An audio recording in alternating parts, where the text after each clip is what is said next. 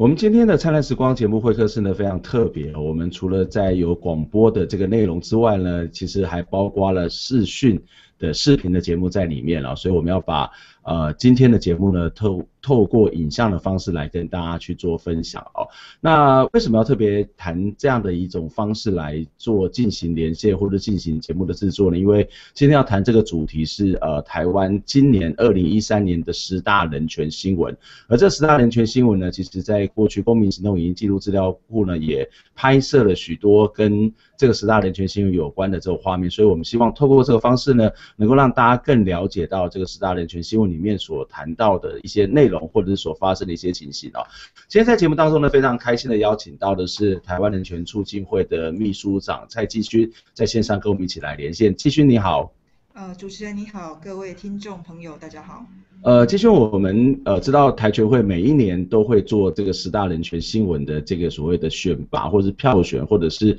呃这样的一些相关的活动。那其实，在去年我们也做过类似做做过同样的一个一个专访哦，也也访问的是继续的。可不可以请继续告诉我们说，这样的一个选举的活动、票选的活动是从什么时候开始的呢？呃，事实上，呃，台湾人权促进会，我们从呃。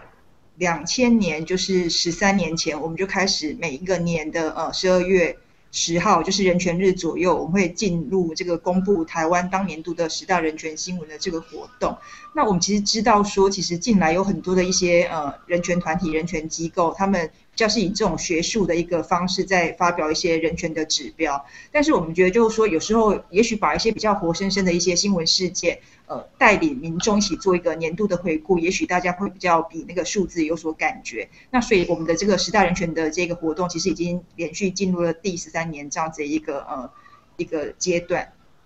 嗯，那这样的一个活动的这个选举的活动、票选的活动，跟今年选出来的结果跟过去有什么不一样的地方吗？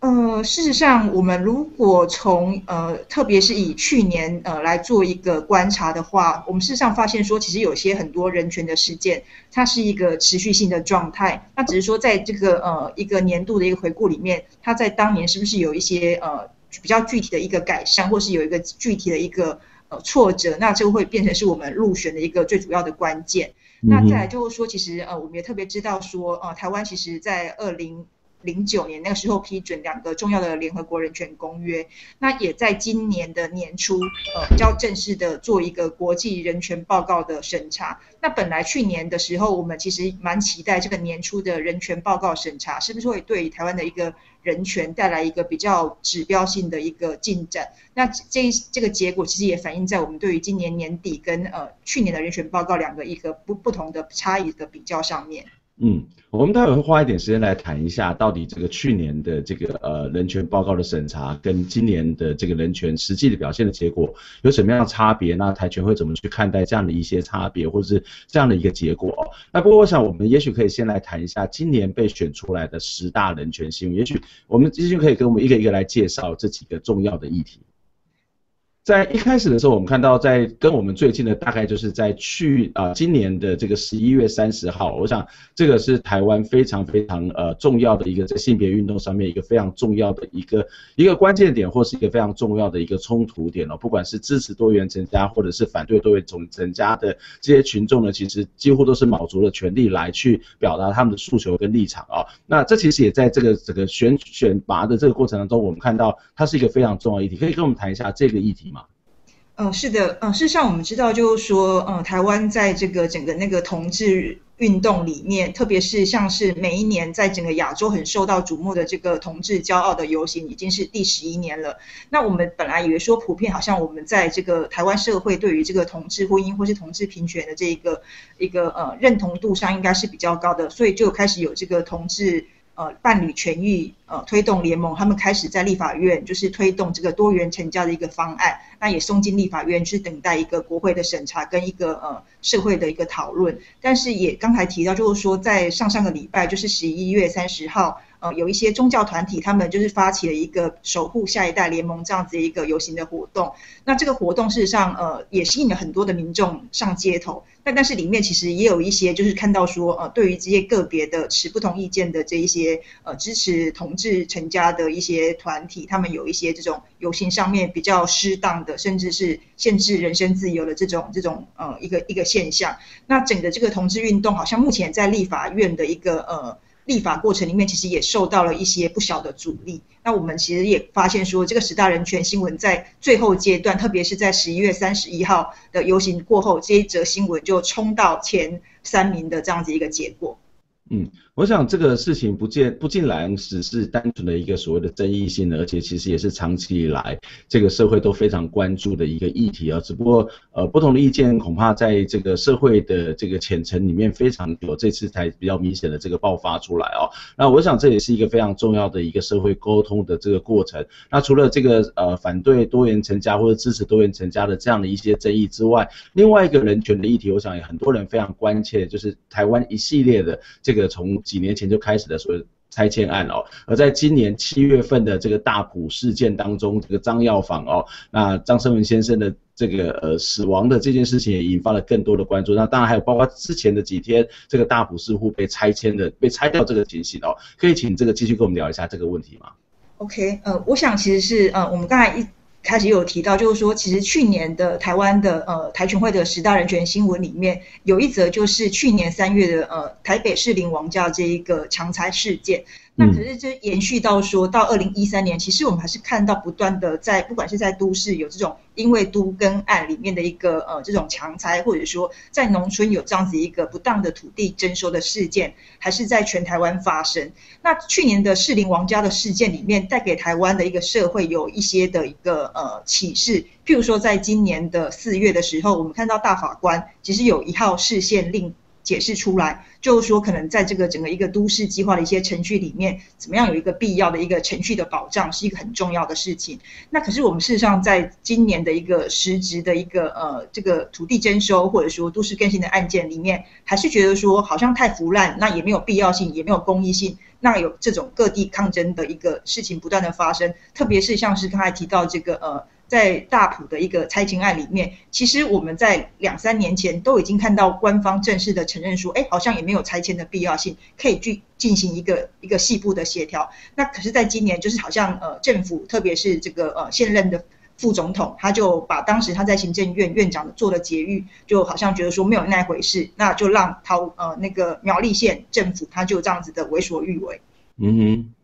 我觉得这其实是一个还蛮严重的一个人权的问题，同时也是一个非常严重的这个政府的诚信的问题啊。那当然，这个政府诚信的问题，其实在台湾似乎已经越来越让大家感觉到失望，因为我们的政府其实。说实话的机会感觉其实并不是那么的多哦。那除了这个大埔的拆迁案，其实引发了非常多人的关注之外，我想去年的一整年哦，其实还有一个非常大的议题也是值得我们去关心，就是两岸服贸协定哦。那到目前为止，这个两岸服贸协定的这种所谓的谈判的过程，或者是这个所谓的签署的过程，或者是整个社会的讨论过程，都非常非常处在一种阴暗的这个状态里面哦。那包括呃这个两都盟台全会，或者是黑色岛国青年很多的团体呢，都为了这个服贸的问题哦，来为这个台湾的社会发声了，希望能够有些人会觉得应该要去重启谈判了。那不晓得呃台区会怎么去看待这样的一件事情？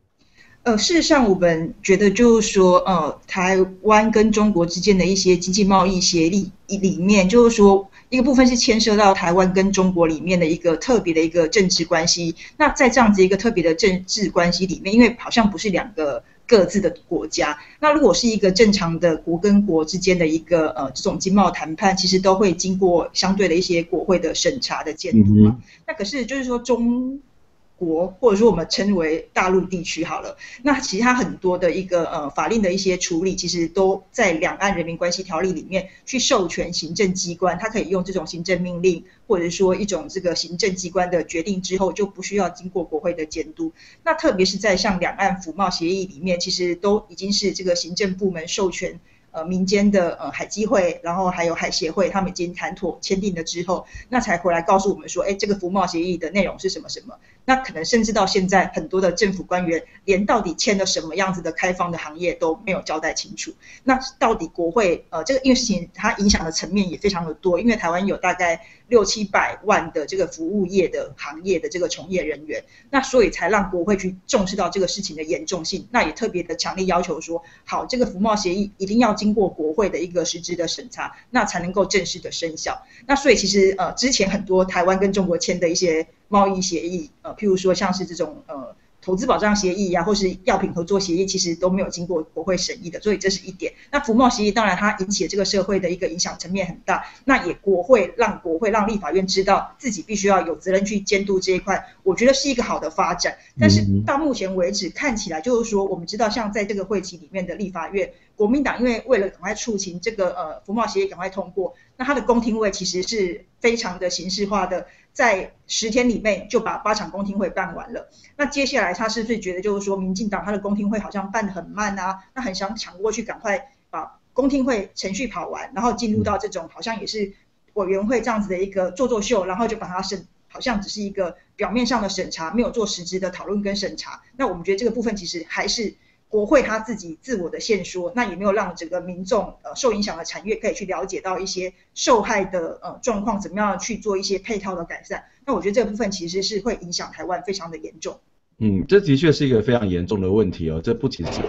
到这个所谓两岸之间的关系，也涉及到这个台湾民众生活的一些生计。不管不只是服务业哦，像在台湾很多跟特别是跟中国的一些相关的协定当中，它都在处在一种灰色或者是一种黑暗的这个地带哦。这的确是特别需要我们去关心哦。那不过去年是会有一些让人家振奋的一些讯息出来，例如说，呃，台湾在过去这几年常常会心羡慕这个所谓的香港。这个抗抗议的人数都非常非常多，但是去年台湾有很多的这个所谓的场子哦，其实都是抗议人潮非常非常多。那其中一个非常受到瞩目的，大概就是洪仲秋事件哦。那不过我想洪仲秋事件绝对不是在比人数，或者是在比这个所谓的到底多少人出来抗议，它更重要是说这个军中人权的问题，它到底被呃凸显了什么样军中人权的问题，或是台湾的军中人权的问题，在已经推动了这么多年的这种改革，它到底解决了吗？呃，是的，事实上，呃，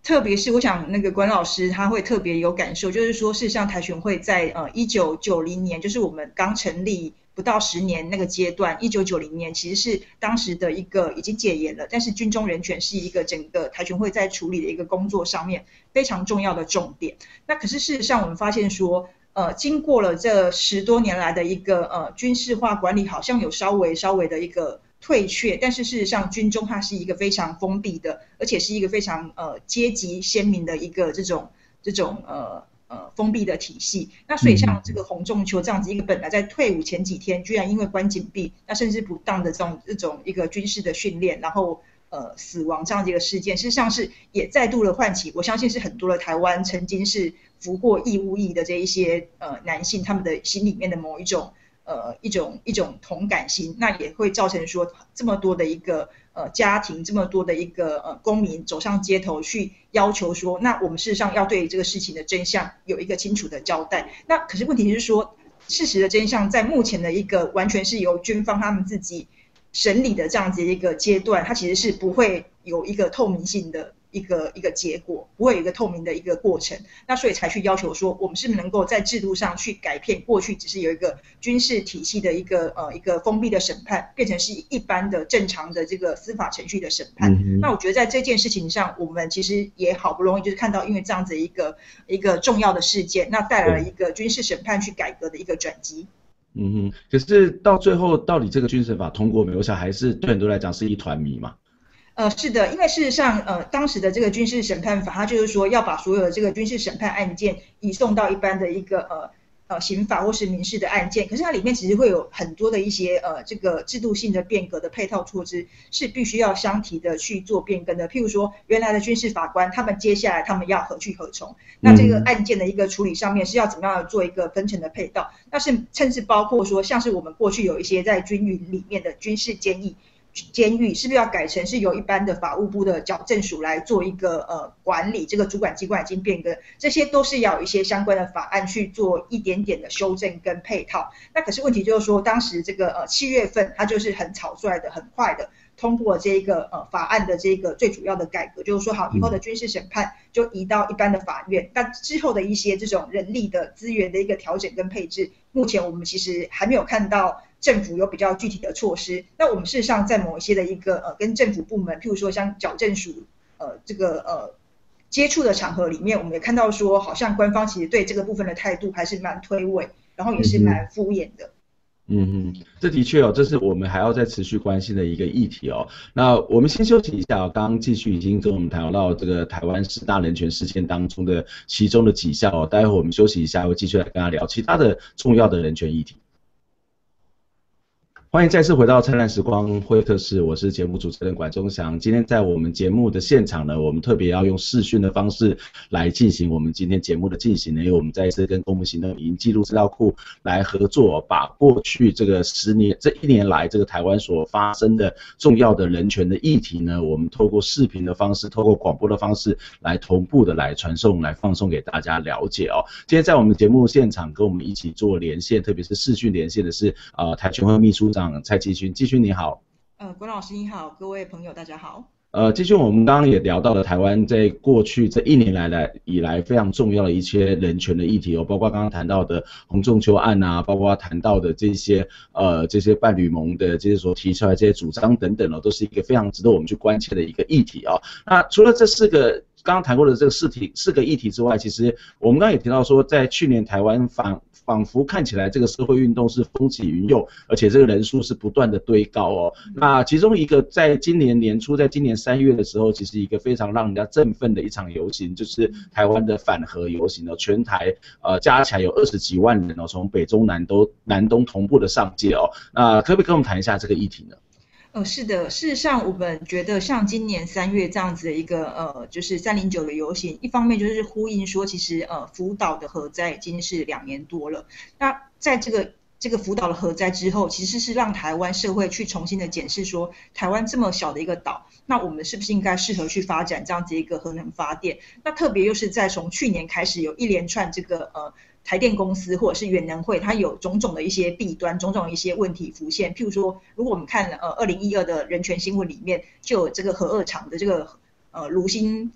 裂痕啊，然后苗苗苗定雷这样子一个苗定雷栓这样断裂的种种这种核安事故。那特别是像也有在这个蓝屿，它的这种核废料安全出包这样的种种的这些新闻，是在发生在去年的二零一二。那其实那些新闻里面都累积到了呃后来的这个反核运动的能量里面，在三零九的时候召唤出这么多公民，想要跟我们的政府说，哎，我们不要再有这样子一个危险的一个核能政策的一个发展。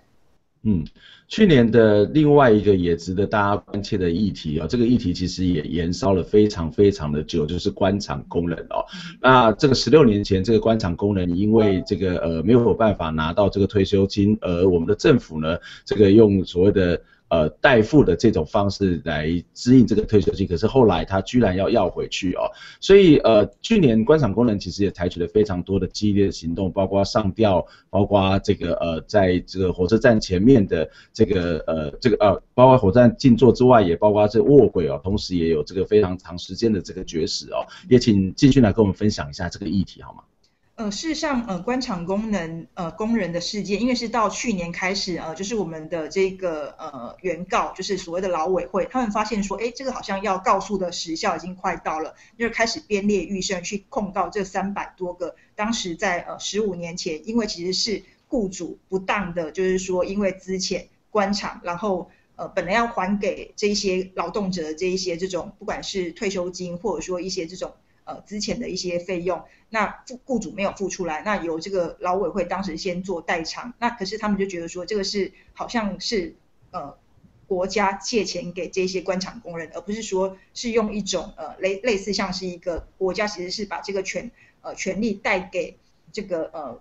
呃雇主，那雇主其实他是。真正的是应该要需要向雇主去追追偿这样子一个一个一个角色。那所以事实上，呃，官场工人其实他们也非常的呃辛苦。他们在呃去年从去年开始有很多的一个呃，不管是包围总统府，到今年到这个呃，也有包括说绝食这样子一种非常激烈，呃，到今年年初有到这个台北地铁，呃，台北的地铁。的台铁的这种卧轨的一些这种这种转机，但是我们其实一方面也看到，就是说也有去召唤出更多的一些年轻世代的一些义务律师站出来，那组成的这个义务律师团。那我们也看到他在某一些，譬如说在桃园县的这个呃。呃，法院里面因为据理的力争，去跟这些法官去讲清楚，说当时这样子的一个官场工人，事实上有当时的一个社会脉络，因为我们当时没有一个充足的一个呃劳退制的社会保险，这也都是国家慢慢的去有这样子一个责任要去做一些的一个呃对于失业劳工的这种这种这种补救跟救济。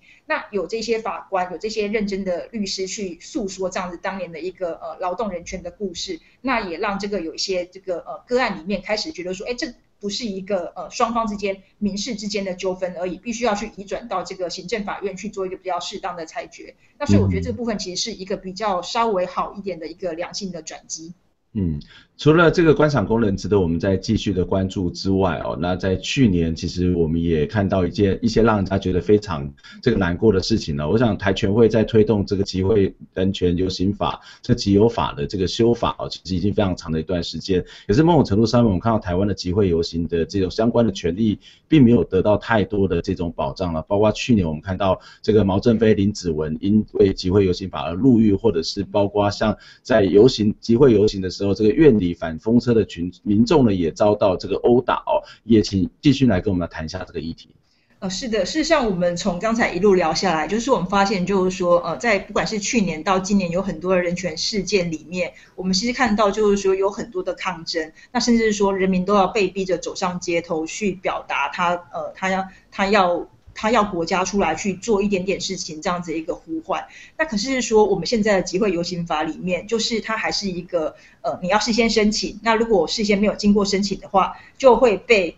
主管机关，特别是警察局认定说这是一个非法的集会。那可能接下来当事人就会面临到后续的这种司法的移送跟司法的起诉，甚至被判刑有罪这样子一个结局。那所以像我们刚才提到的，就是说在今年的集会游行。的一个案例里面，特别是因为官场工人，他们四处的去求助，四处的去抗争，希望去引起社会更多的关注跟同情。那可是他们也不惜的，就是用也许是比较激烈的手段，但这个激烈的手段，其实我觉得我们是有讨论的余地的。可是呃，居然是。因为是用集会游行法而被判决有罪，那这个部分其实我们觉得是非常的遗憾。那也看到就是说，其实集会游行法到目前，我们对于这个和平集会游行的权利的保障还是没有任何的进步。那特别是在立法院，他还是把这个法案摆在那边，没有进行任何的一个积极的讨论的修正。那我们也看到说，几年前有呃集会游行的这种呃大法官的申请的视线的一个努力，是目前。已经是三年多了，那大法官还没有去做出任何的一个解释，我们也觉得这是一个司法上面的一个怠惰。嗯哼，去年我想很多台湾民众非常关注他，或者也被迫关注的，就是马王斗法哦。那这个马王斗法，其实我们看到它涉及到的不是只有一个单纯的官说的问题，其实还包括这个所谓的监听，或者是像司法人权。那最后这个呃这个检察总长黄世明呢，其实也搞得自己这个呃一满头灰哦。那其实呃有点让大家觉得不知道这个检察总长到底在做什么，或者是包括这个马英九跟王金平都是让人家觉得哇现的政治人物到底是在斗什么哦？我想从这个所谓的看热闹的这个斗法之外，其实还有更多在法上面的问题。哦，不晓得台全会或者是我们怎么去看待这个在涉及到的一些相关的人权的议题呢？呃，事实上，呃，在今年的一些司法人权的案件里面，让我们觉得特别的呃意外，就是说我们其实以以为说，呃，在两千零八年那时候马英九总统来竞选的时候，他就有说，哎，他以后不要再做任何的这种。呃，所谓的政治监听、政治监防的这样子的一个呃一个选举的承诺，那呃好像看起来某一些有官方公布的这种监听的这个数数据里面，也觉得好像好像这个是不是已经有有比过去几年有这样子一个降低的趋势？可事实上，我们发现就是说，原来其实我们的这个呃调查局或者说我们这个呃呃这一些这种检查单位，事实上他们还是把监听列为是一个非常有用的一个。办案的工具，而不去补强其他的一个呃办案的一种呃能力的一个提高，那好像用监听是一个最好、最方便、最容易省事的方式。可是问题是说，监听这个部分，它就有时候因为觉得好像，因为特别是在台湾，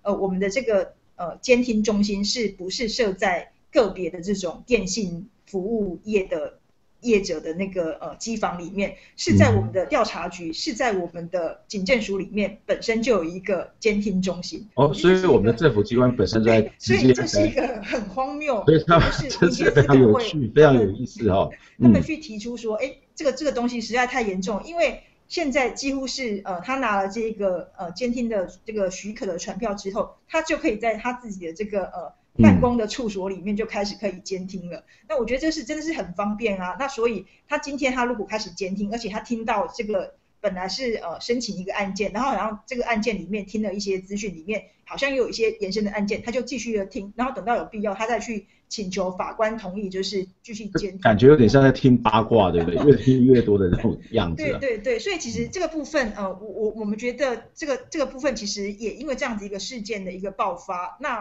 呃，去让我们去了解说，呃，原来政府部门，特别是这种握有权力的一个呃调查检调机关，他如果他去滥用这一些监听的工具，事实上是对于不管是政治人或是一般人民。的一个一个隐私权的侵害是非常大的。那我觉得在这个过程里面，其实也让民众上了一次的一个法治教育，就是说，好，我们今天如果是要监听，其实有一些特定目的的限制，有一些特定的一个对象的限制，有一些必要性的重大犯罪的限制，而不是这种好像是一票到底这种没有限制的一个监听。那我们其实看到现在目前其实也在立法院去积极的推动去呃。修正相关的法令，这样子一个努力。那至于有一部分，呃，除了监听之外，那有一部分我们觉得是比较，呃，在台湾的一个民主法治上面还是有待加强。就是说，这个监听它是会沦为一种政治权力的斗争。就是说我今天可能就一系列的监听，那等到有必要的时候，我要去斗争谁的时候，我再把当时监听的一些资料拿出来去做一些的这种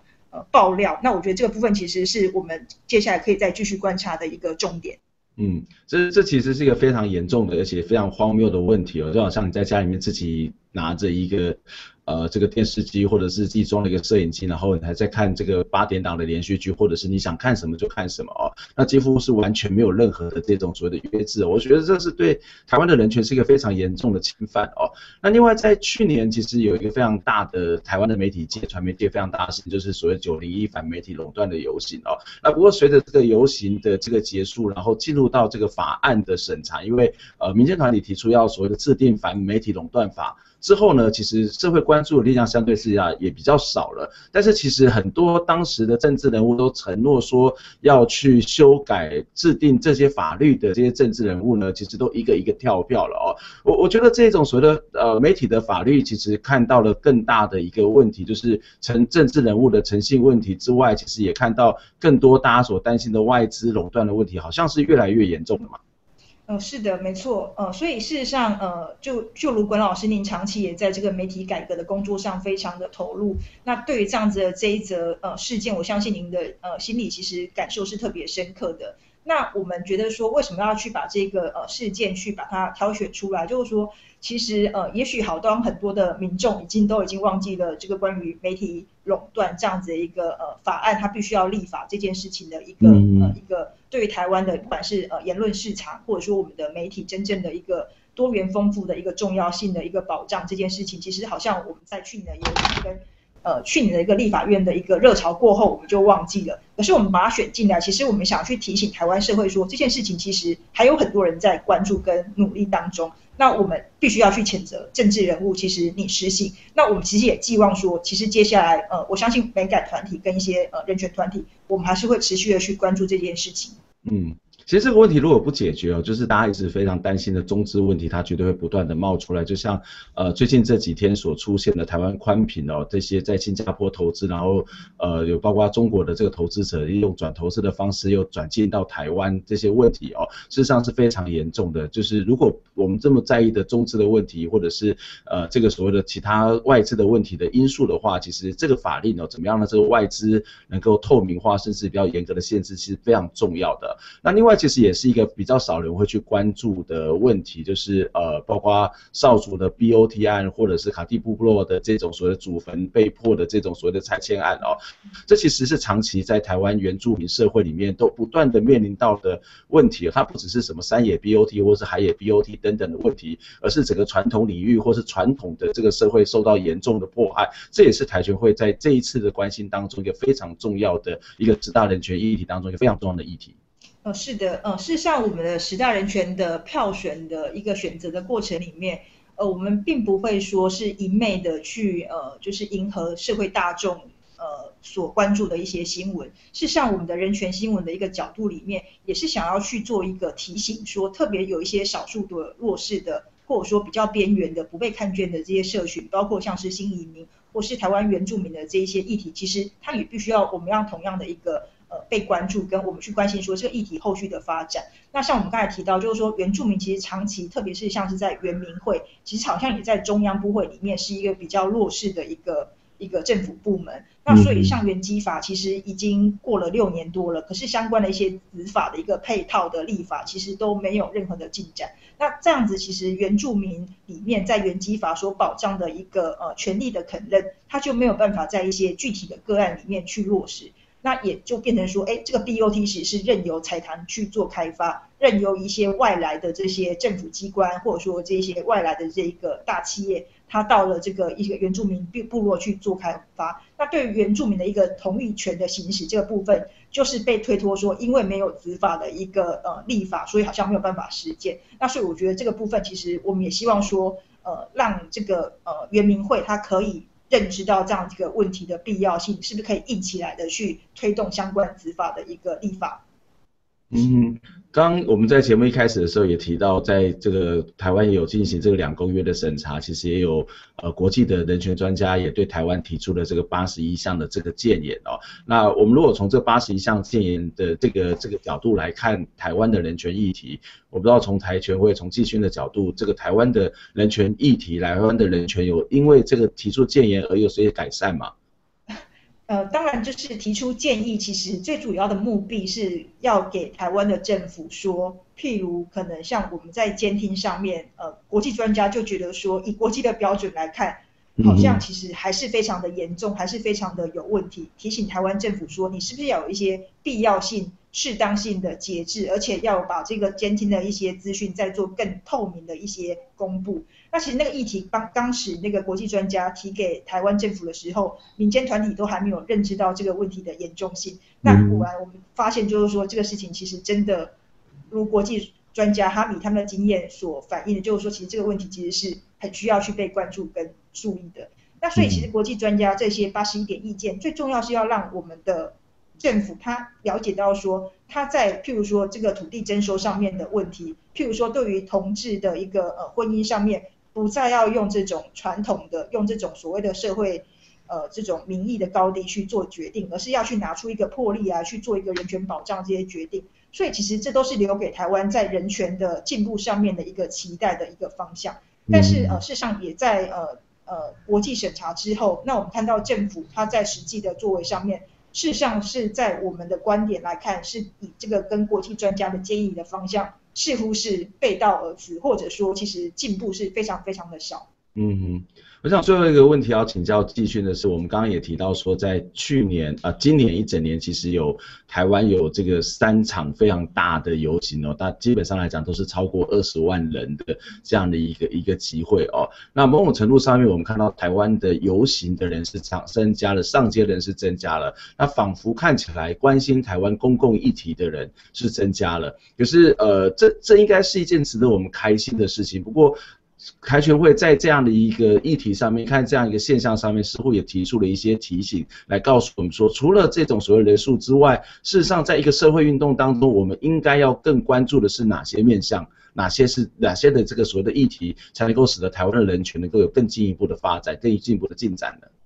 呃，事实上，我们觉得就是说，呃，在呃，在今年就是虽然也有呃，如刚才提到，就是说有很多大规模这种群众运动去展现某一个议题，呃，民众的关心的这样子一个一个一个一个活力，这样子的能量，然后看到让台湾譬如说像是军事审判法赶快改变成呃修法，那或者说像是反核，那呃就是让至少是在今年这个呃合适的一些经费的预算上面，就是暂时的冻结。那呃也在十一月三十号的这一个呃守护下一代联盟里面，他们对于另外一群人提出来的这个多元成家的方案有所呃。有所质疑，那呃，事实上这个法案也在立法院有一些的一个停滞的那个状况。那我们觉得就是说，当然公民他站出来去对于社会议题去表达他的关心跟意见是很好。那可是问题是说，当群众散去之后，我们对于我们的一些呃目前的这一些这些政府机构，或者说我们对于这些民意代表，他是不是能够更有效的去对于政府做